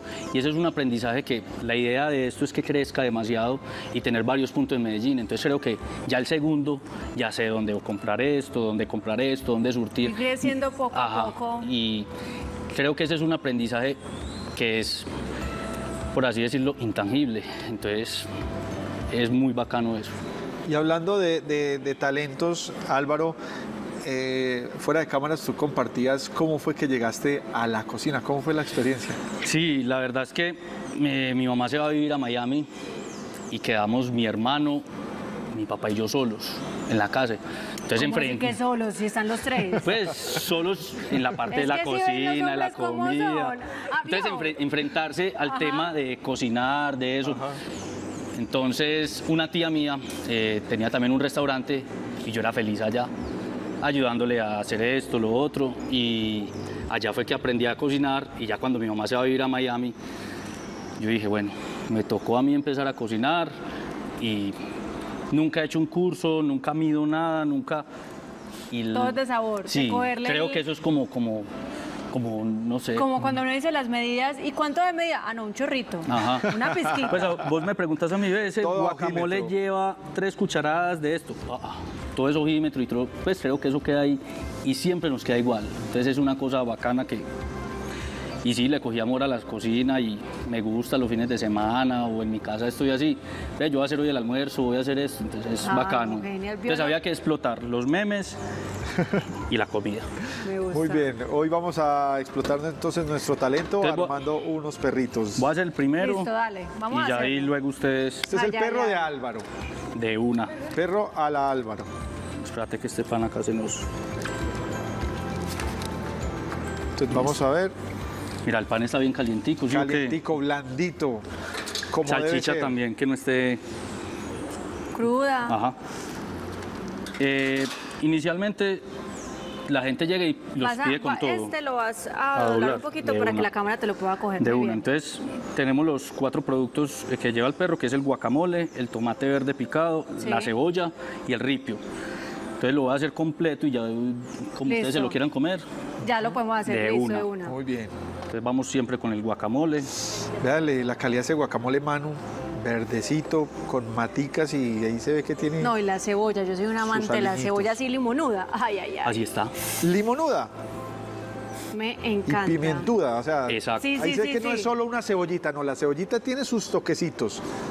Me A parece muy particular Tomate. pues que Álvaro hoy decidió es ponerle tomate verde. A veces le hace el mix. Sí, a veces, sino que es que también en estos momentos ha sido difícil a veces conseguir solamente el tomate verde. Ajá. Entonces intentamos conseguir el, una- el más verde que, que esté en el momento en el mercado Sí. y lo mezclamos con el rojito. A veces también. Eso da otra textura, Sí, otro claro, sabor muy bacano. distinto. Y otra cosa que consideramos es que el ripio también sea un color blanco. Porque hay unos ripios que son muy cafés. Sí. Entonces este ripio tiene como un sabor como más bacancito, por así decirlo. Diría yo en mi ignorancia que el ripio café de pronto es porque el aceite donde lo hicieron estaba ya quemadito. Mm, Sí, sería también O una sea, buena- ahí quedó listo el, el perrito perro. Y mira las salsas ya las que quieras, No, tenemos Ya pero la picantes. salsa- a la salsa que usted quiera, que usted La el perro recomendada. completo, sí. Pero listo, va. Va. La recomendada es La recomendada esta de la casa, que es una verde de cilantro, limón. Uy, uy, uy, uy, uy. La salsa de la Dios casa, mío, la salsa del desenganche. Es completamente delicioso. Para mí el perro lleva siempre mostaza. Ah, ok. Sí, sí, O sea, el tradicional, el- Sí. sí. Sí, Manu. El tradicional trae salchicha, el pan, eh, la, mostaza. La mostaza y ya. Y ya. Así es. Y... Ah, y nos dice, nos dice nuestro coordinador ketchup. Ketchup, óigalo, pues tan técnico. No, ketchup. Nosotros le decimos como la marcó Álvaro, la roja. Sí, es que muchas veces, pues, muchas veces las personas llegan y ¿cuál es la salsa de tomate? O esa es la roja, entonces quisimos ponerle, está la salsa roja. Me encanta, sí, a lo paisa. Sí, exacto, descomplicados como somos nosotros. Descomplicados como somos nosotros y ahí ya quedaría el perrito. El tradicional. El tradicional, del desenganche. Me gusta, perfecto. Y como el reto es que ahorita Juan Pablo y yo pues hagamos los perritos de nosotros, ah, nos vamos a preparar. De Para, para pensar qué le vamos a poner y todo. Pero los vamos a invitar a todos ustedes porque en este momento el periodista Andrés Hernández de Noticias Telemedellín nos tiene un avance informativo sobre Climate Life, un concierto que se va a realizar acá el 16 de octubre y por supuesto Telemedellín estará presente en esto que nos evoca a todos a cuidar nuestro medio ambiente. Andrés, hola, ¿cómo estás? adelante. Manuela, Juan Pablo, una feliz mañana y qué emoción llegar con estas noticias en nuestra franja informativa. Pues este próximo 16 de octubre se realizará por primera vez en Medellín el Climate Life, un evento de talla mundial en donde precisamente eh, se crea conciencia sobre el cambio climático, sobre nuevas opciones de sostenibilidad, de transporte y todo ese mensaje que se tiene que hacer porque realmente no tenemos un planeta B en este caso. Andrea es la representante de mundial de, de este gran evento y bueno, bueno, pues qué decirle a la gente para que se prepare y sobre todo para que comience a generar esos cambios. Claro que sí, bueno, eh, primero que todo muchas gracias. Pues nada, Climate Life, como les comentábamos ahorita, es una iniciativa que surge jóvenes, para jóvenes, pero también queremos, digamos que enaltecer la voz de los que o no la tienen o la han perdido. Entonces estamos en pro de las nuevas generaciones, queremos ensalzar también el, el nombre de los líderes que perdieron sus voces por la lucha climática, la lucha ambiental. Y pues nada, invitarlos a todos. El 16 de octubre vamos a realizar el, concierto. Va a ser un concierto que se va a hacer en más de 40 países el mismo día. Se van a estar transmitiendo por en streaming por todas nuestras redes sociales, Climate Life 2021, Climate Life Colombia. Eh, y lo que buscamos es generar un grito, un grito a nuestros gobernantes, un grito a nuestros líderes, porque bueno, como tú bien lo dijiste, no tenemos un planeta B, necesitamos necesitamos actuar ya, pero no necesitamos quedarnos en palabras. Necesitamos acciones, acciones contundentes que evidencien que nos están escuchando. Ahí está entonces, y esta iniciativa pues se estará realizando en más de 40 países, un llamado a toda la comunidad, a todo el mundo, porque solamente tenemos este planeta. Camilo de Providencia es una de las bandas que nos va a estar acompañando también este próximo 16 en las instalaciones precisamente de Telemedellín, un gran cocao de artistas y de buenos amigos que también tienen como temática en común no solamente la música, sino también este tipo de mensajes. Camilo, bienvenido. Hola, un saludo a todos, qué bueno estar por acá. Es un honor, también es una gran responsabilidad ser vocero de un evento mundial como estos. No es nuevo para la gente que sigue a Providencia. Hace 20 años saben que siempre hemos estado vinculados con este tipo de de iniciativas. Siento que, la, estamos en un punto muy crítico de no retorno y si no nos unimos y, nuestros mandatarios, que son en última hora los llamados a, tomar acciones eh, trascendentales que permitan como como eh, apoyar esta causa, creo que no va a haber un, como dices tú, un planeta B. Y para nosotros es eh, esta responsabilidad siempre la hemos asumido eh, con mucho honor y qué bueno poder estar al lado de otros amigos que en la música nos hemos encontrado durante muchos años y podernos encontrar y conversar con la gente y hacer eco de todo esto. Camilo, muchas gracias por acompañarnos. Gracias a todos. Está entonces programación cultural de speakers, bandas locales y nacionales que nos estarán acompañando desde este próximo 16, el 12 habrá programación, el 14 también un recorrido por toda la ciudad y obviamente usted esté pendiente de la pantalla de Telemedellín para que no se pierda nada de este gran evento. Yo soy Andrés Hernández de Noticias Telemedellín. Manuela, Juan Pablo, continúen ustedes más con más en nuestra pantalla. Muchas gracias Andrés por esa información y yo continúo aquí comiéndome este rico y delicioso perro porque no aguante. No aguanté y no aguanto. Juan Pablo. Ese es apoyo a nuestros emprendedores. Bueno, mi turno. A ver, vamos a cambiar de... De una. De roles. Y vamos a ver cómo me queda pues a mí este. Me echa pues ojito pues que no lo vaya... Ese, eso, está bien. Cógete si quieres para que no te vayas a quemar. Acá mantenemos las Ah, pinzas. Ok. Sí, señor. No había visto que teníamos pinzas y todo. Pero este pancito sí está suavecito. A ver, volteémoslo. Este no está cortado. Ah, no, espérame. Ya, ya. Sí, sí, sí, mira Ay, pero ¿por qué hay camarógrafos acá que no le tienen fe a uno cuando uno está cocinando? que. Recomendación que la salchicha, ahí hay varias en este momento. Sí. La que veas más cocinada, que está más listo. En el fondo, Exacto, ¿qué? sí. Muy bien. Esta. Que como- calientica también. Yo como experto catador de perros puedo decirte Álvaro que este perro, lo noto un perro fresco, un perro donde se siente cada uno de los ingredientes. El pan obviamente estaba calientico, blandito, suavecito. La cebolla crujiente con un toque por allá de pimienta. El guacamole sin palabras, eh, mejor dicho me quedo sin palabras para describir tan magno sabor. Qué bueno. Y el tomate verde le dio una textura muy distinta a los perros tradicionales. Y las salsas le dan ese toque perfecto, o sea que mm, Álvaro, contratado. Contratado para su emprendimiento. Me gusta. Yo me voy a ir porque como a mí me gusta la cebollita y hoy no vamos a besar a nadie por acá, entonces vamos por acá. A ver. Bueno, sí. En el orden que los quieras, no hay ningún besos problema. Cebolludos dejaron de ser ricos, viendo que si se dan con cebolla, se queda un beso sazonadito. Sí, sí, pues, pero no falta el que no le guste. Muy bien, entonces el perro de Manu es primero la cebolla, luego Sí. le echó guacamole. Un poquito de tomate. El mío es de esos que uno necesita como muchas servilletas. Sí. Sí, ella lo está abriendo para... No, yo le estoy metiendo por los laditos y todo. Y ahí sí, señor Ripio. Yo creo que estos son los ingredientes básicos justos. A veces queremos saturar el perro de más y más y más cosas y terminamos llenándolo de- y saturándolo de mucho sabor que no queda sabiendo a nada. Y dentro de... las salsas. Sí. ¿A quién le gusta? Camila, ¿picante le gusta? Listo. Bueno, el perrito de Manuela, salsa a- picante. La picante. A ver. Pero qué tan picante es. Es un picante, yo siempre he considerado también que el picante debe ser un picante justo, el cual no pierda el sabor del, de- del, digamos, del guacamole, del tomate, y siga picando y conservando ya los sabores que tiene Sí, el a, perrito. a veces pica tanto que, Que- que se pierde el sabor, Que claro. se pierde todo porque nos está picando tanto que tenemos que ir corriendo por un vaso de leche para bajarle entonces al, al Eh, picor. piña. Mostaza, mostaza, perdón. Bueno, nuestra coordinadora acaba de pedir este perro caliente con todas las salsas habidas y por haber, todas las salsas de, del desenganche. Y Manu obviamente lo está. Vean, pero lo hace muy pues, bien. Vea esta belleza. Ah. Venga pues, Cami, venga. Entre pues en acción. Se lo tiene que comer acá. A ver, todo tuyo. Pruebe, deguste, disfrute. A ver, pero- No, que vaya y se lo disfrute. Eso. Me quedó bueno. Pero que no hable con la boca llena. Rico, con, con, la, la, seña, manito, la con seña. la manito. ¿Pasó la prueba, Manuela? Sí, pase la prueba. Listo, me contrataron. Gracias, Cami. Sigamos. Juanpa, Ah, bueno, usted. seguimos. Ahora sigue entonces. A eh, ver, yo me voy a con el otro mi lado. oportunidad. Vamos entonces a hacer un perrito por acá. A la Juan Pablo. Entonces. Las Aquí están están acá las abajo. Las pinzas. pinzas acá. Muy bien.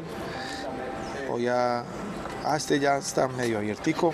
Aprovechémoslo. Al revés. Al revés. Para- exacto. Muy bien. Y se abre así. De una. Como es Es que si- manipular el perro así. Si sentís que el pan es, Pero yo te voy a está decir en una su cosa, punto. tener todas las cositas así ya listas hace que uno vea al grano, a lo que vinimos. Muy bien. Yo soy como muy del estilo de Álvaro, entonces a mí me gusta primero el, el guacamole. Entonces le damos un poquito de guacamole.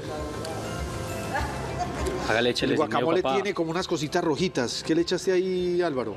Eso es un poquito de... Tiene cilantro, limoncito, sal de ajo. No le echamos ningún conservante. Qué rico, qué Es bueno. diario. Nuestro guacamole siempre está fresco. Todos los días se hacen. Sí. O sea, te levantas 4 de la mañana No, a no, hacer el no, guacamole. No, tampoco, no. No, no, es que hacer un guacamole se demora 10 minutos. y Juan también Pablo lo usamos porque en las mañanas va la gente, porque también en nuestro lugar vendemos arepas de huevo, empanadas. Entonces, hey, Ay, una, él me arepa, estaba contando que una arepa acá... de huevo con guacamole, lleve. Ah, no, eso que... Una empanadita con guacamole, Qué de una. delicia. Él nos estaba contando que queda muy cerquita acá de Telemedellín. Recuerden que Telemedellín queda ubicado arriba está la Avenida del Poblado, abajo tenemos tenemos Villa Carlota, quedamos muy cerquitas, es en la esquina donde hay una glorieta virtual para que ustedes también vayan, lo apoyen y por supuesto disfruten de esos perritos, no como el que está haciendo Juan Pablo, sino a lo Álvaro para poder disfrutar de esto y otras cositas eh, tradicionales que ay ay ay Ay, ay, ay. ay ay ay Eso Vea. está bonito. Mi perro, me perdonan porque dirán, ¡ay, una pizza con piña! ¡ay, hamburguesa con piña! ¡ay, perro con piña! No, ese dulcecito, Yo en las comidas feliz saladas. Con la piña. Entonces, Ese no es para él, no, están diciendo que ese no puede ser para ti, ese a quién se lo vas lo voy a hacer. hacer y le voy a dar a gusto del, del que quiere probar el perro, la Juan Pablo. Aquí está. Y la salsita de la casa. Muy bien. Aquí está entonces perro a la Juan Pablo. listo. Para quien desee entonces degustar, probar. Y si a usted le ha gustado esta preparación, cuéntenos. 604-268-6030 y estaremos para atenderte. ¿A quién se lo vas a dar? Se lo voy a dar. ¿Quién quiere este perro, la Juan Pablo? Sara. Sara, Sara. entre. Que, que pase, Tan Sara. rogada, entre. Muy bien. Pues Sarita, Muy bien, Álvaro, redes sociales, ¿dónde te apoyamos? ¿Dónde te encontramos? ¿Dónde podemos? A ver. Eh. Uy, qué rico. ¿Qué tal, Sara? Bien, todo muy pasamos bien. la prueba. Listo. Eh, ¿Dónde te seguimos? Eh, la, arroba el desenganche y arroba la esquina del desenganche también en redes sociales. Estamos en esas dos. Porque es Vea. importante apoyarlos. Porque primero que todo, eh, en el desenganche se ha vuelto un compromiso en el cual la gente nos escribe y nos dice, ve, estaba aburrido. El día de hoy leí un meme tuyo, vi un meme tuyo y me cambiaste el ánimo. Eso es una nota, cambiarle el ánimo y regalarle felicidad a las personas. Es muy bacano. Y, los, y la esquina del desenganche, porque es un emprendimiento el cual en este momento yo trabajé también con mercados campesinos y la idea en este momento es empezar a comprarle todos estos productos a los campesinos. Yo conozco la gente de Santa Elena, San Cristóbal y crear también como esa conciencia que debemos de comprarles a ellos y que nuestros perros sean con los productos Locales. locales. Me encanta. Genial esta iniciativa, genial esta propuesta que traes Álvaro y lo mejor es que somos vecinos. O sea, Allí nomás. allí nomás. O sea, si usted Diario lo espero acá, nuestros- a dos cuadras. A dos cuadritas de nuestro canal Parque Gabriel García Márquez, usted puede ir y luego eh, disfrutarse o el perrito o viceversa. Va y se compra los perritos y se los trae aquí en una tarde de picnic, una mañanita o una almorzadita, mejor dicho. Qué bueno. Y también en, en eventos, eh, los que necesiten. Todo lo que sea posible. Álvaro, muchas gracias. A ustedes por haberme invitado. Gracias por estar aquí en mi Parque Tu Casa, gracias por emprender, gracias por cambiar el ánimo de muchas personas a través de tus redes sociales, por sumar y por pensar también en nuestros campesinos para tener incluidos en estos productos. Gracias por estar acá en mi Parque Tu Casa. A ustedes. Así es, muchos éxitos. Entonces, Álvaro, hasta una próxima oportunidad. Y el mensaje para que ustedes también, si tienen esa cosita que les está picando para emprender, pues no lo duden. Arranque, ensayemos, no esperemos a descubrirnos a nosotros mismos como para ver si, si, si funcionamos o no, que en el hacer lo descubriremos. ¿Tú sabías que en Telemedellín hay una forma de que si tú quieres felicitar, quieres quejarte, quieres hacer un comentario, quieres hacer una crítica constructiva, si casualidad te gustó algo mucho que viste, te puedes comunicar acá con el canal y No, exponerlo? No, eso no lo sabía. No, no sabías. Pues le tengo un dato y es que un personaje que yo admiro mucho por ser tan creativo, por ser una persona que inspira tanto en el tema de la televisión, hizo un programa eh, que se llama El Buzón. Y el buzón es la forma donde nosotros, los televidentes, se pueden comunicar con nosotros, con todo el canal, porque no es solamente las personas que están viendo frente a pantalla, sino todos los que hacemos posible estos programas para que lo que hagamos es una comunicación y entienda que nosotros los estamos escuchando, porque Telemedellín, aquí te ves y por lo menos, y por supuesto también los escuchamos.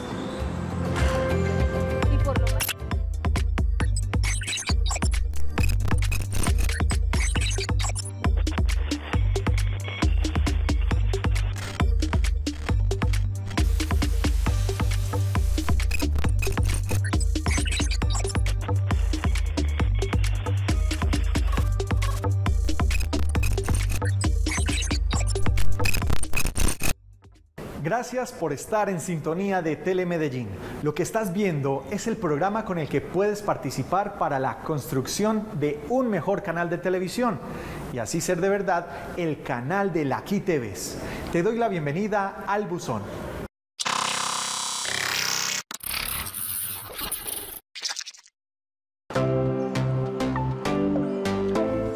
Pronto se descompusieran todos los televisores del mundo, no habría escalas para medir los maremotos del aburrimiento. Manuel Campo Vidal. En este espacio visibilizamos los mensajes que nos llegan a través de nuestras PQRS, las cuales llegan directamente a la Secretaría General del canal y esta las envía a su vez a los diferentes departamentos para su oportuna respuesta. Esta es, por ejemplo, una solicitud de cotización que nos pide Yaxibe Muñoz. Requerimos cotizar el espacio para un evento con metodología carrusel. Cotizar espacio cerrado y abierto, por favor, 60 personas. La respuesta de parte de nuestro equipo de comunicaciones. Nos llegó esta PQR y ya la respondimos. Vía correo electrónico le enviamos al cliente la cotización del espacio, el brochure y también la política de alquiler de espacios. Y no solamente para él, sino para todos los que nos ven. Pueden venir a nuestro canal a celebrar sus eventos empresariales, también eventos personales, somos anfitriones de cumpleaños, baby shower. Entonces tenemos una cantidad de espacios abiertos y cerrados que ustedes pueden conocer y visitarnos. Si desean alguna cotización, conocer los espacios, pueden escribirnos al correo comunicaciones arroba telemedellín.tv o a wilmar.giraldo arroba telemedellín.tv. Recuerden que en Telemedellín aquí te ves.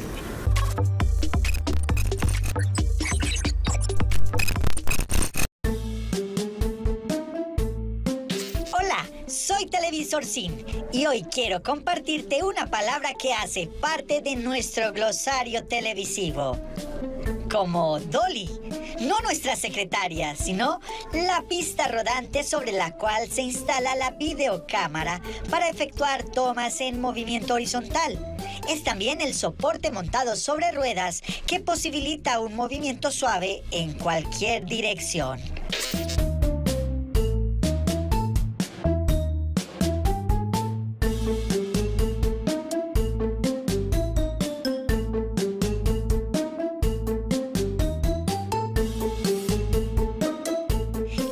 Que hayas aprendido con nuestro glosario.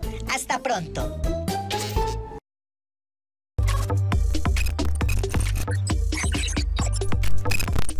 La Agencia Central de Medios es una unidad de negocios que existe al interior del canal que crea y ejecuta estrategias de comunicación para clientes que necesitan una respuesta ágil y oportuna en sus planes de comunicación.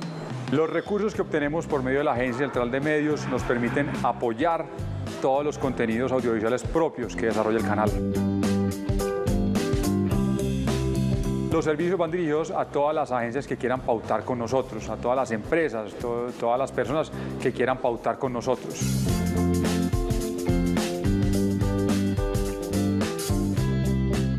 Esperamos ser un aliado estratégico en sus planes de medios, estrategias de comunicación y diseño de piezas, porque en Telemedellín aquí te ves.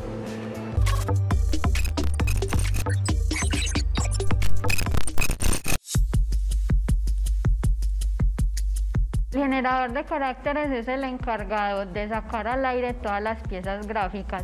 Esto permite apoyar a los programas con la información de contacto de los invitados, el tema, ponchar imágenes, sacar todas esas partes gráficas al aire.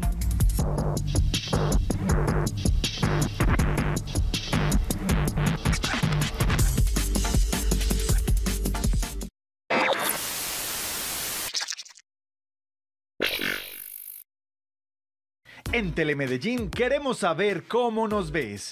Dirígete a la página www.telemedellín.tv y en la parte superior encontrarás la pestaña Genera una PQR. En este espacio podrás expresar tus inquietudes, peticiones, quejas, reclamos y sugerencias. Haz clic en la opción Formúlanos una PQR, no sin antes conocer las preguntas más habituales. En el nuevo menú, ten en cuenta algunos puntos importantes antes de llenar la solicitud. Haz clic en Registra tu solicitud. Llena los datos de registro y describe allí tus comentarios. Y listo, solo queda enviar la información que depositaste, la cual será atendida en el menor tiempo posible. Hasta aquí el buzón. Por lo general siempre nos despedimos con una seña en particular, el aquí te ves, que debería ser quizás al contrario, aquí te ves, aquí te, te ves, pero esta inquietud la resolveremos en otro episodio del Buzón, el programa del defensor del televidente por Telemedellín. Aquí te ves.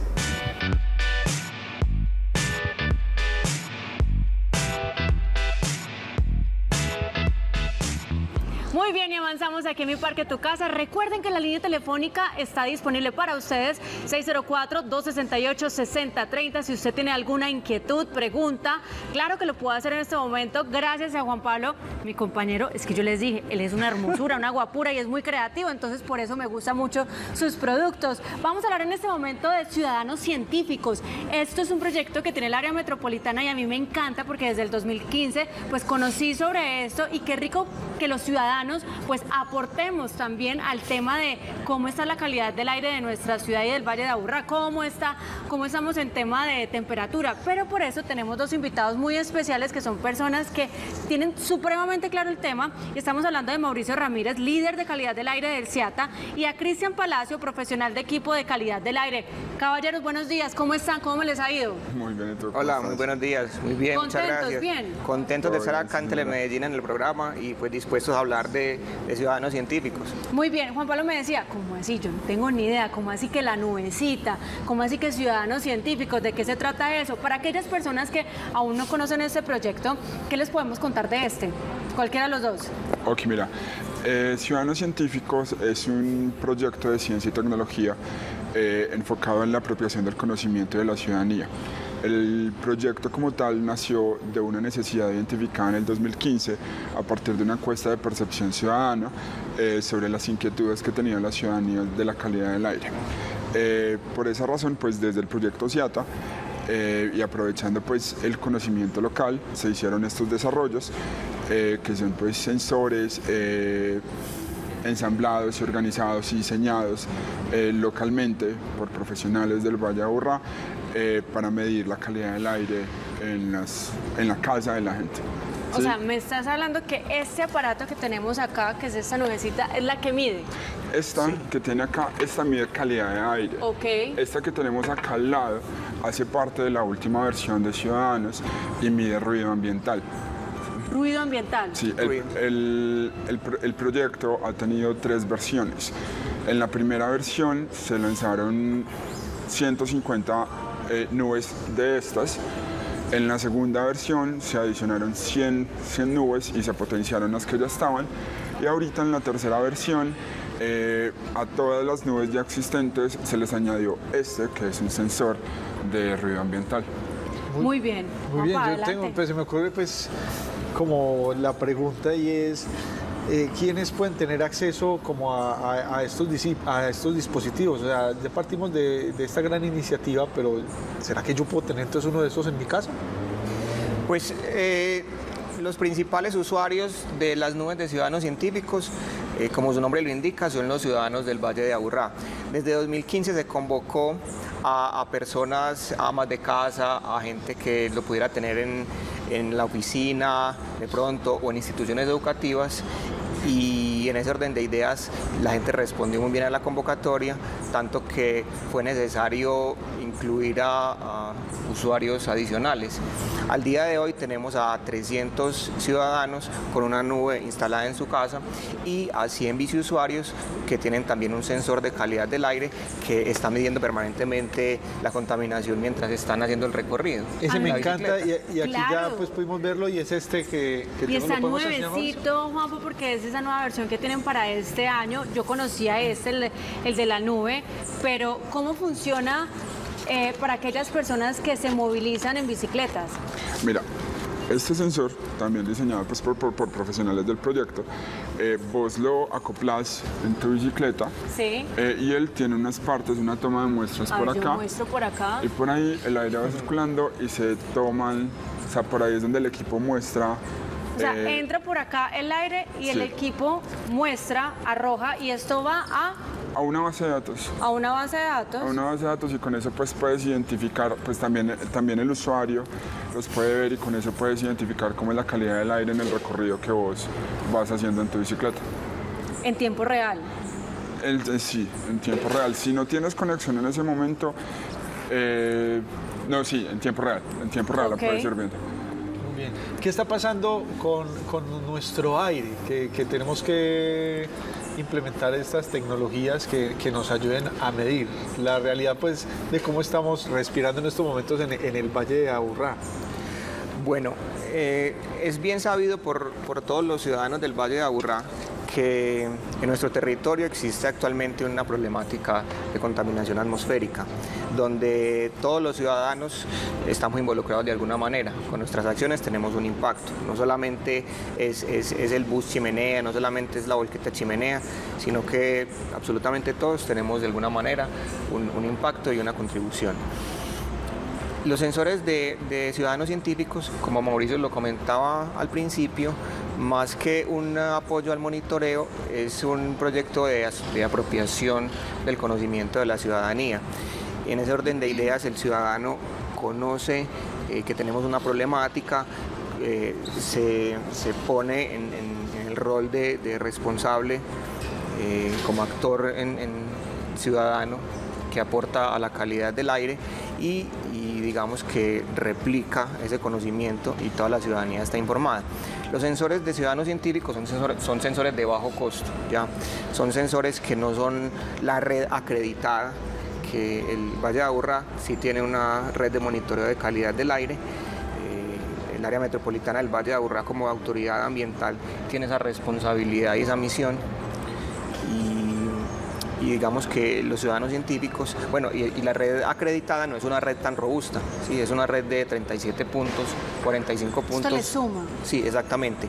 Y, y tener 300 puntos adicionales, eh, digamos que da una mejor, un mejor espaciamiento de, la medición y, ha posibilitado esta red eh, identificar algunas situaciones particulares y, de pronto Mauricio nos va a contar un poquito sobre los incendios que, han podido detectar las nubes y demás. Muy bien, eso me gustaría que ahorita lo abarcáramos, pero me acojo a esta situación de, la, de lo que vivimos en algunas etapas, dos etapas que vivimos en la, durante el año, eh, y dicen es que no, es que el Valle de Aburrá, es que Medellín es, muy, está muy contaminada. Gracias a estos sensores y gracias a los diferentes mecanismos que tiene a través del área metropolitana se puede descubrir cómo estamos. Hay ciudades que ni siquiera lo tienen, que pueden estar peor que nosotros o igual, pero es que lo que tenemos nosotros es cómo medirnos. Entonces es la situación y es porque no se habla de esto en otras ciudades de Colombia. ¿Es porque ellos están muy bien? No, no se trata de eso, se trata es que nosotros sí podemos darnos cuenta en qué punto estamos, cómo podemos prevenir, cómo podemos actuar y cómo ¿cómo podemos decir? Hay que accionar y hacer un momento de pico y placa más extenso, cuando nos ponen ciertas medidas restrictivas, pero lo que nos permite eso es saber la calidad del aire que realmente estamos respirando, porque entonces, claro, nos dan muy, muy duro en otras ciudades, o los mismos países lo que hacemos es que damos dura la situación y no lo estamos viendo, es que estamos eh, de alguna forma visibilizando con lo que tenemos y con este monitoreo la situación que se está viviendo en estas diferentes etapas. ¿Qué más se puede descubrir aparte de estos sensores que ya nos estabas hablando del tema de la calidad del aire en tiempo real, pero qué más se ha podido descubrir? Mira, no, ahí sí me gustaría como añadir algo que acabas de decir. Eh, esa parte de nosotros estamos monitoreando es muy importante. Eh, técnicamente eh, las corporaciones autónomas eh, deben tener, pues deben medir la calidad del aire en el país. Eh, muchas de ellas miden, pero el plus que tiene la red de aire del área metropolitana es en tiempo real. Eso siempre ha sido una filosofía desde el proyecto, desde el área metropolitana como autoridad ambiental, tener la información en tiempo real, que la comunidad sepa en tiempo real qué es lo que está respirando. Ahora, ¿qué otros usos se le pueden dar a esto? Como decía Cristian, eh, al ser esto pues una red mucho más densa y con una mayor distribución espacial en el Valle de Aburrá, nos ha permitido identificar el ingreso de plumas de contaminantes. Eh, creo que fue en el 2019, el incendio de Porce. 2020. 2020. Eh, el incendio de Porce, la red de ciudadanos mostró claramente el acceso, el, el ingreso de esa pluma por el norte del valle. Eh, estas, estas nubes también se instalan con un sensor de temperatura y humedad. Eh, a partir de, esos, de esas mediciones de temperatura y humedad se han hecho investigaciones relacionadas con las islas de, con las islas de calor urbanas. Y en general se, se utilizan también eh, no solo pues para, para cuestiones de análisis en, en tiempos de episodio, sino para propósitos investigativos. ¿Qué te parece? No, estoy aquí anonadado, o sea, frente a todo este conocimiento, todo este talento. Lo tenemos en nuestra ciudad, Juanpa. O sea, lo tenemos aquí en el Valle de Aburrá. Lo tenemos aquí y, qué rico eh, tener estas herramientas que nos van a facilitar muchas, pero, pero muchas, muchas cosas. ¿Cómo han sentido ustedes eh, desde lo personal eh, este impacto y este desarrollo de, estas iniciativas? Pues en lo personal yo he sentido mucho orgullo por, por los profesionales de, de nuestra región porque no son sensores que, o no son desarrollos que mandemos a traer de afuera, sino que los mismos ingenieros de acá del Valle de Aburrá eh, desarrollamos eh, la caja, desarrollamos eh, las conexiones, desarrollamos la electrónica, la comunicación y demás. Entonces, en primer lugar, pues mucho orgullo de que, de que acá en Medellín, en el Valle de Aburrá, haya pues un talento que se esté utilizando en favor del, de la calidad del aire y del monitoreo de, este recurso. Y segundo, eh, también me siento complacido porque este proyecto, insisto, ha posibilitado llegar a, muchos ciudadanos y que muchos ciudadanos estén apropiados del conocimiento, estén informados, estén siendo activos con, sus actividades cotidianas, eh, sepan que tiene un impacto eh, importante en la calidad del aire y en los gases de efecto invernadero. Ah, añadiendo un poco lo que dice Cristian, también es un proyecto pionero.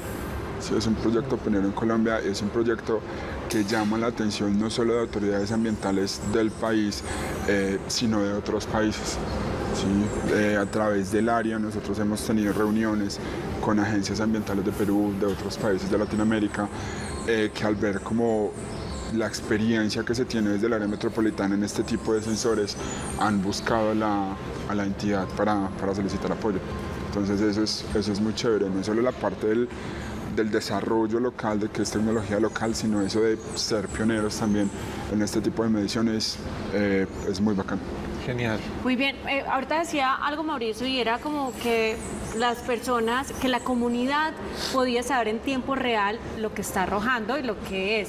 Ojo, porque es que puede ser un sistema que la arrojan las autoridades, ¿cierto? Entonces nos quedamos hasta allí. No, comparten la, la información con las comunidades para que todos nos apropiemos del tema, porque todos somos responsables de la calidad del aire de nuestra ciudad donde estamos viviendo.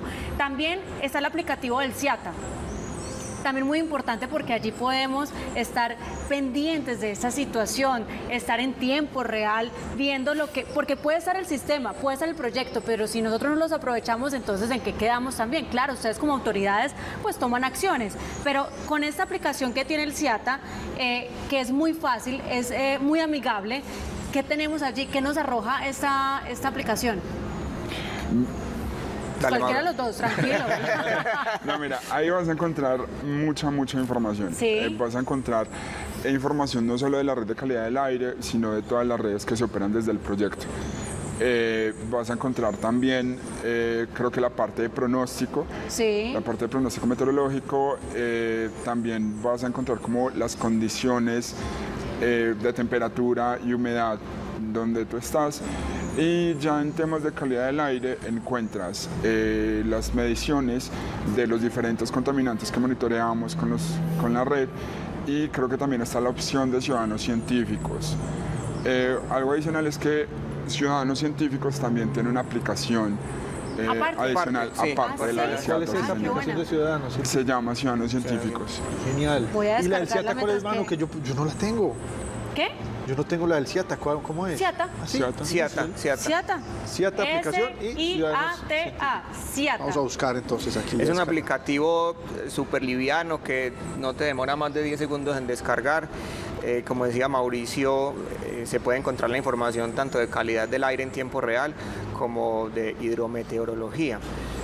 desde el proyecto CIATA se tiene instalado un radar en, en el corregimiento de Santa Elena que es capaz de ver, entre comillas, eh, la lluvia que está ocurriendo más o menos como a 200 kilómetros a la redonda. Entonces, y, también existe la posibilidad de hacer un seguimiento de, por dónde se están moviendo las nubes que tienen lluvia. ¿Ese es con cuál aplicación? Con Ciata. Con Ciata. Con Ciata, ah, sí, exactamente. Sí, porque tengo que mandar un saludo en este momento a nuestra compañera Carolina Loaiza, una mujer apasionada por esta aplicación. Cada vez que necesitamos ver cómo está, Caro, por favor, no te... ya me meto al CIATA. niños, va a llover, no, no, no se pongan faldita. Entonces me gusta mucho porque hay personas que realmente ya, pues hasta disfrutan sabiendo, están en ese conocimiento de esto. Aquí estoy en una parte donde vemos eh, diferentes em, puntos verdes. Pero ahí tienes... Eh, no, ayúdame tú para poderla saber bien del tema. Bueno, uno tiene varias posibilidades. De pronto la, capa que tenías ahí cargada es la de los sensores de nivel, de nivel de, del... ¿De la calidad del aire? No, Del, río Medellín, del río Aburrá Medellín y de las quebradas afluentes.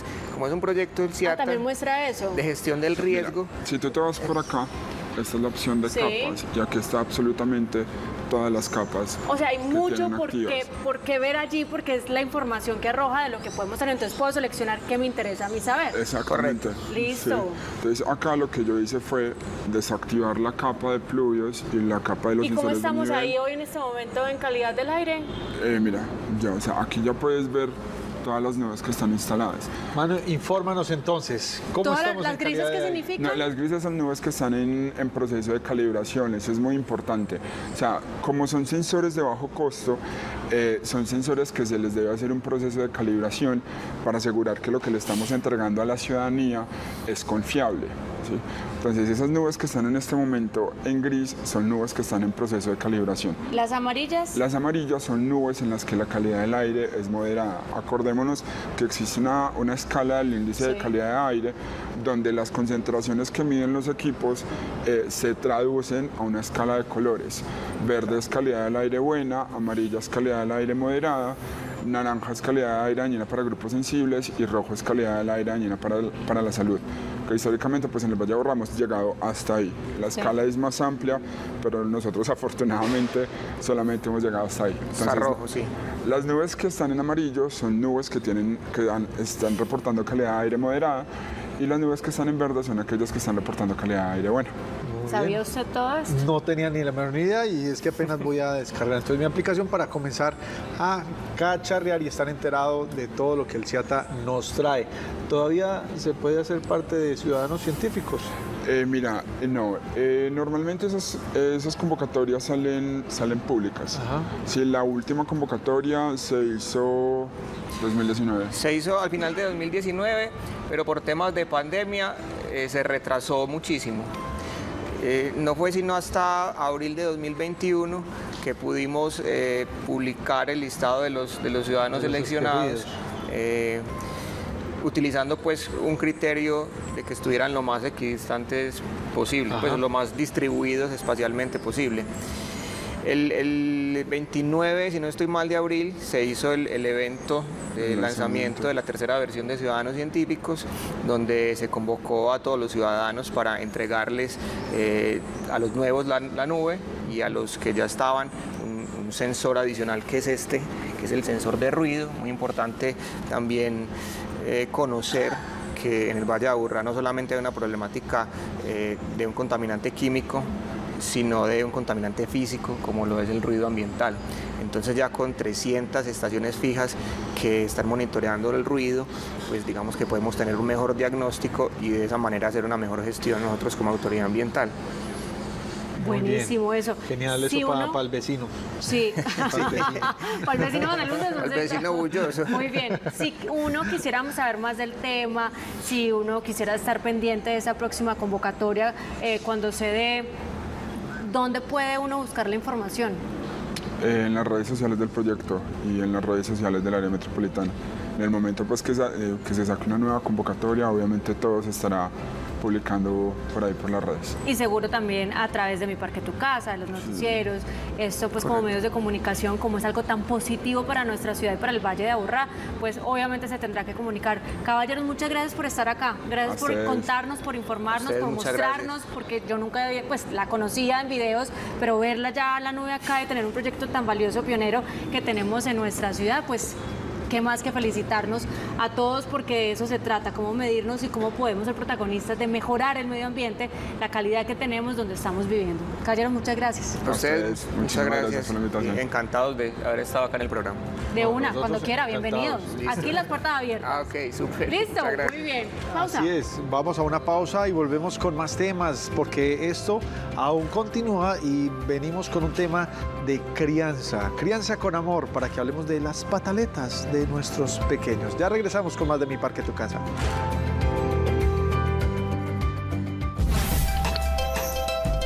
Estás viendo Mi Parque Tu Casa.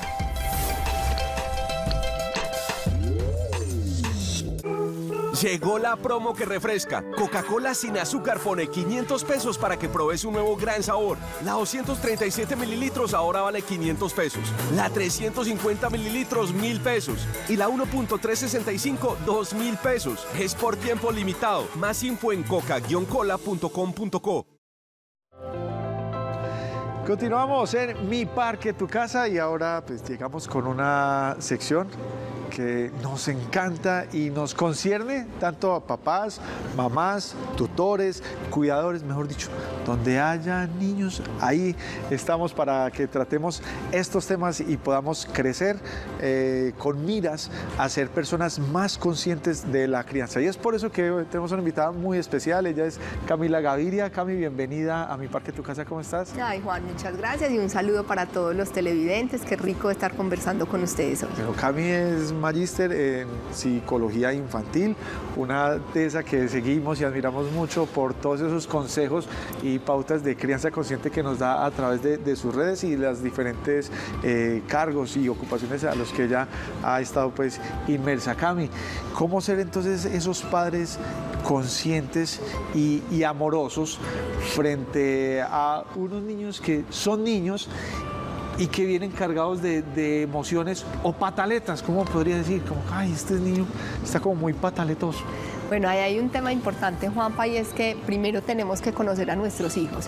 Yo digo que la crianza no es una receta, sino que es un proceso de investigación arduo. Nosotros tenemos primero que conocer a nuestros hijos.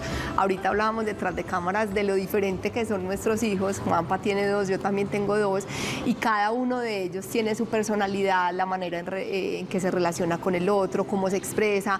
Entonces hay uno que hace pataleta por una situación, hay otro que hace pataleta por el otro. Y esos desbordes emocionales tenemos que aprender a gestionarlos a través de ese conocimiento inicial de cómo son esas personalidades de nuestros hijos. Convertirnos en unos investigadores privados de qué funciona mejor para nuestros hijos. Te pongo un ejemplo. Un niño de 3, 4 años se puede enojar un montón porque le serviste en el plato azul y él quería en el plato amarillo, ¿cierto? Sí. ¿Qué sucede? Nosotros tenemos que empezar a anticipar esas situaciones. Si yo ya sé que eso pasa en mi casa, yo le pregunto a mi hijo, ¿hoy quieres comer en el plato verde o en el plato azul? ¿O voy a tener todos los platos iguales? Es decir, yo cómo empiezo a identificar cuáles son esas situaciones que generan esos desbordes emocionales y prepararnos nosotros con esa anticipación. Anticiparnos a la situación. Muy bien, y, está bien que ellos hagan pataleta o debemos corregirlos eh, y poner ahí quizás mano dura al respecto. Bueno, aquí hay un tema muy importante y es que no solo los niños hacen pataletas, sino los adultos también. Nosotros apagamos el celular, no contestamos la llamada, cerramos la puerta, queremos nuestro espacio y buscamos también esa manera de expresarle al otro que estamos enojados, que algo nos disgusta. Es muy normal que los niños generen esos desbordes emocionales y voy a explicarles aquí brevemente cómo sucede o cómo funciona esas estructuras cerebrales que tenemos. Tenemos un montón, pero yo les voy a hablar de dos muy importantes y es la corteza prefrontal, que la tenemos en esta parte del cerebro, y tenemos el cerebro emocional o la corteza límbica. ¿Qué sucede? Este- esta parte de acá del cerebro se relaciona con las emociones y llegan con nosotros al nacer, que son las seis emociones básicas, alegría, tristeza, ira, miedo, desagrado y sorpresa. Esas son las emociones con las que mis hijos, sus primeros años de vida y los niños empiezan a relacionarse con nosotros.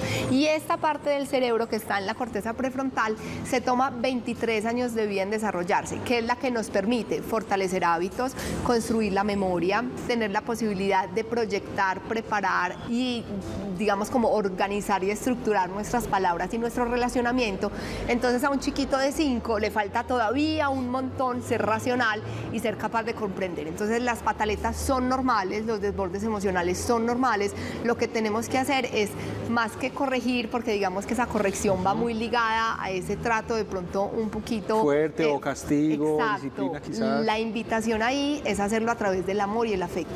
Siempre ponernos a la altura del niño y buscar contacto visual. Si el niño está muy enojado, se tira al suelo. Hay niños inclusive de un año y medio, 18 meses, que se tiran al suelo y que buscan golpearse. Entonces buscar poner un cojín para que no se vayan a lastimar, acompañarlos y saber que el niño necesita conocer y aprender cómo relacionarse con esa situación. Y nosotros, si nos enojamos, Inclusive ahorita que hablabas de las redes, tengo un videito muy chévere y es, yo prendo un, un, fósforo, una candela, prendo otra candela y si los dos estamos enojados y nos juntamos, la llama va a crecer mucho. Total. Entonces todos nos vamos a enojar más, va a ser más difícil gestionar esa emoción, pero si yo como adulto tengo que prepararme también, porque esto es un reto muy difícil, ahorita lo hablábamos, o sea, ser papás no es sencillo y enfrentarse a esas situaciones también nos cuesta, dependiendo de nuestro día, cómo estuvimos, si fue difícil o no, entonces tratarlo inicialmente con mucho amor y respeto. Muy bien, ¿qué tal ustedes? ¿Cómo está este día?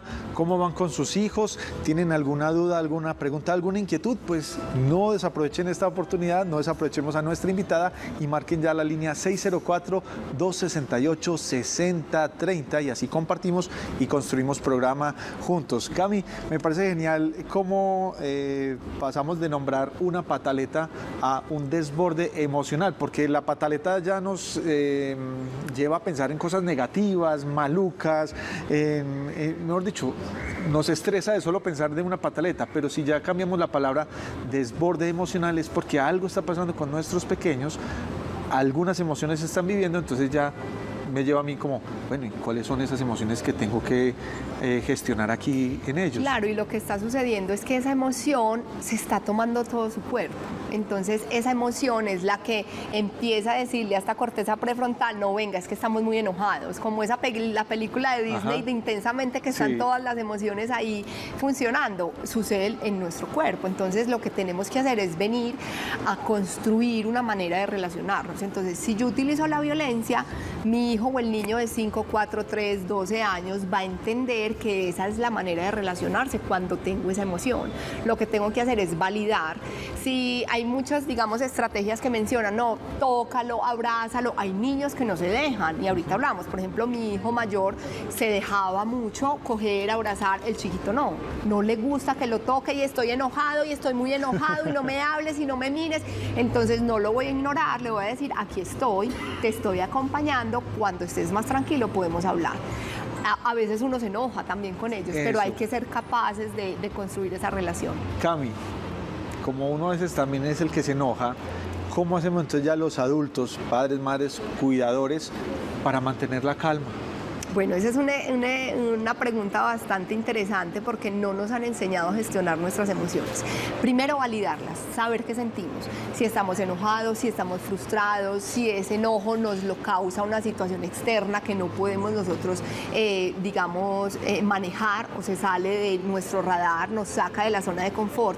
Generar espacios donde nosotros como adultos podamos gestionar esas emociones a través del ejercicio, del deporte, de una buena buena alimentación, nosotros necesitamos que el estrés no nos agobie diariamente, hacer lo que nos gusta. Miren, cuando los adultos nos damos cuenta que hay algo que nos apasiona y que realmente lo hacemos, tenemos días mejores.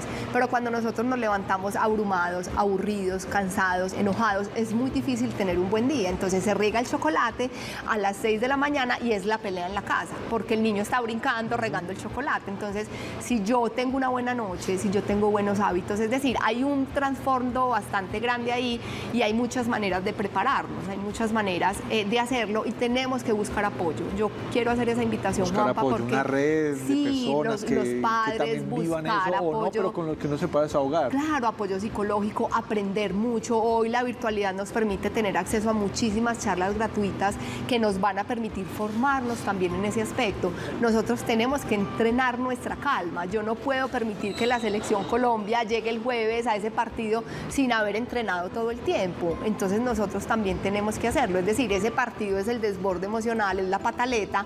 Yo necesito haberme entrenado, yo necesito aprender a respirar. Si para mí la calma no es respiración, sino movimiento, entonces yo tengo que saber en qué lugar y en qué momento tengo que irme a correr, a gritar, porque yo también necesito sacar toda esa emoción para poder acompañar a mis hijos. Muy bien.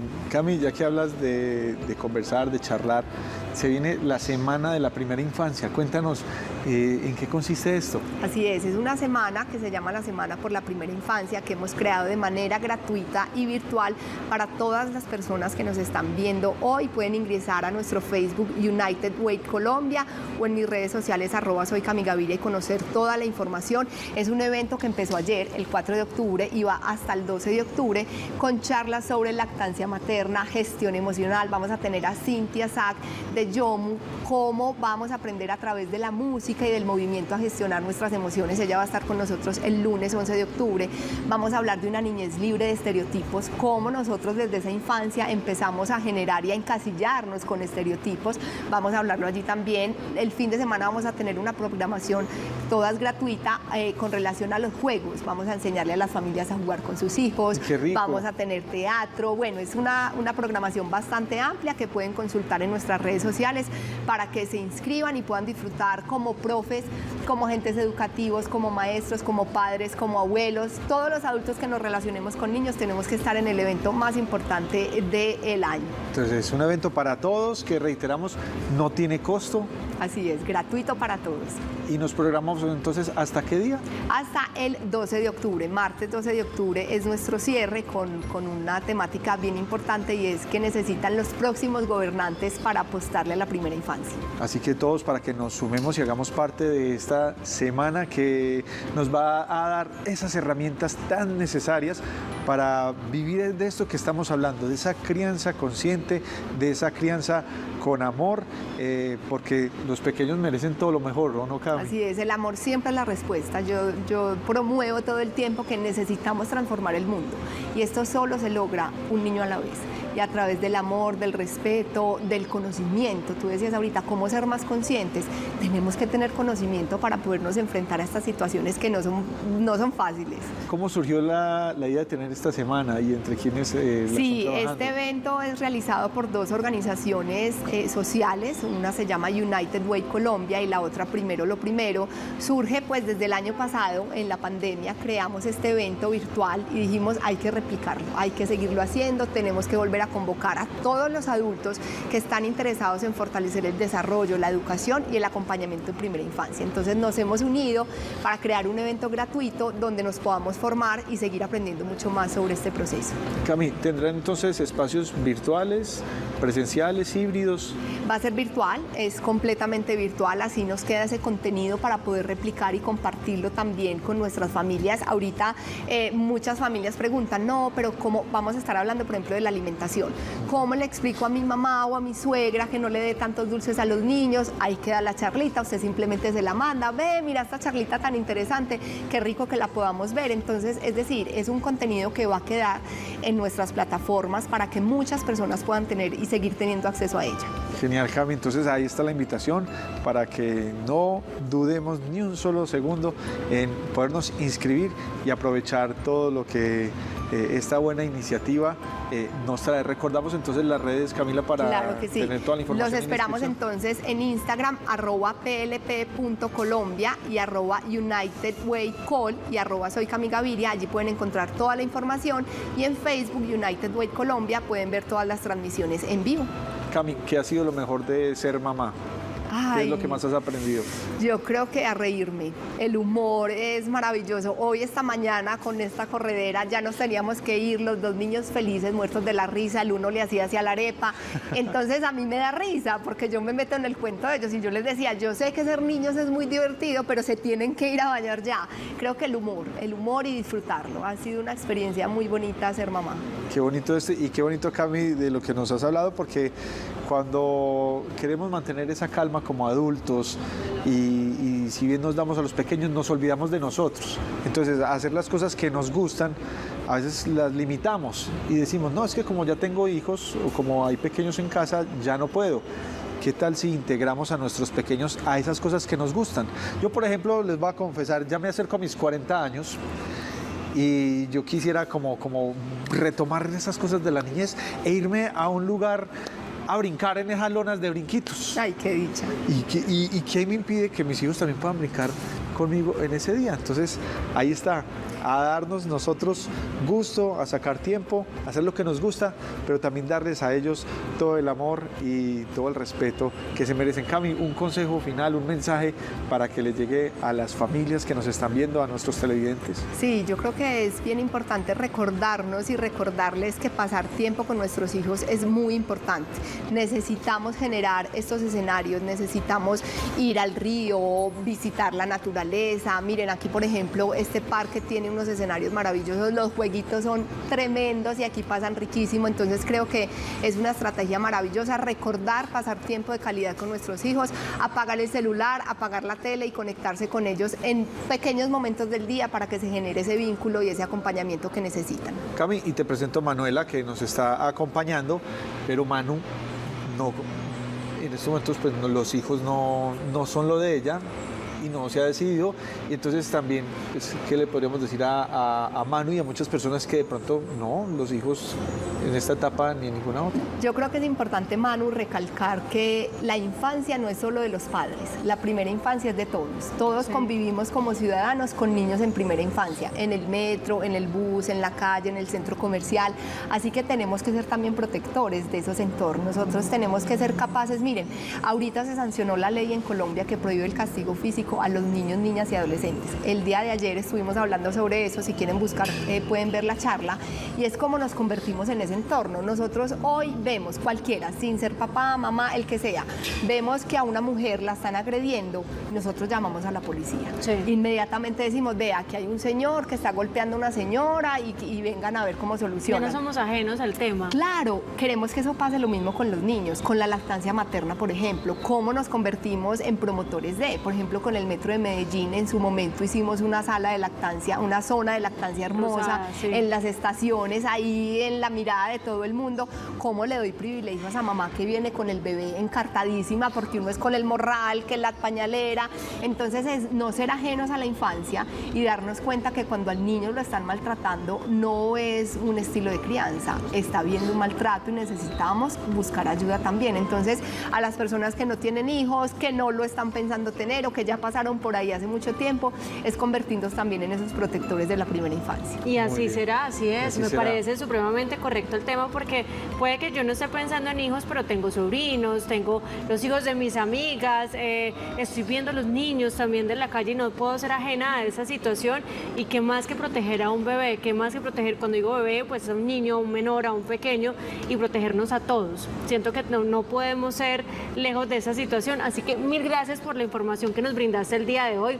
Gracias por eh, incentivarnos y a, y a reconocer que no solamente se tiene que hablar a papá y mamá o a cuidadores, sino que se tiene que hablar a una comunidad para seguir eh, tejiendo este esta sociedad que tanto se necesita y que tenemos que seguir avanzando. Mil gracias por estar acá. ¿Ya hablaron de las redes sociales?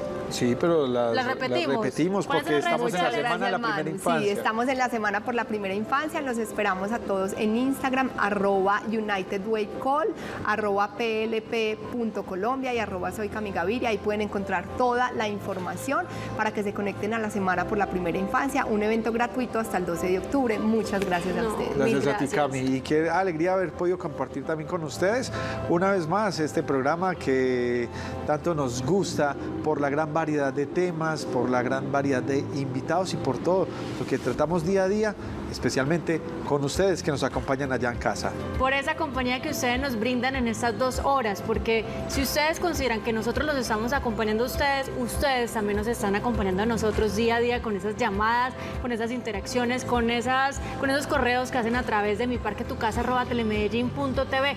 Gracias por estar conectados con nosotros. Mañana tenemos una cita. Cami, tú te sabes la- el santo y seña de Telemedellín, ¿cierto? Por. Telemedellín, aquí, te ves. Te ves. Con el pulgarcito. Aquí te ves, listo. Porque nos gusta que usted esté con nosotros, por eso los invitamos a que mañana a las 10 de la mañana esté conecte por Telemedellín. Aquí te ves. Chao.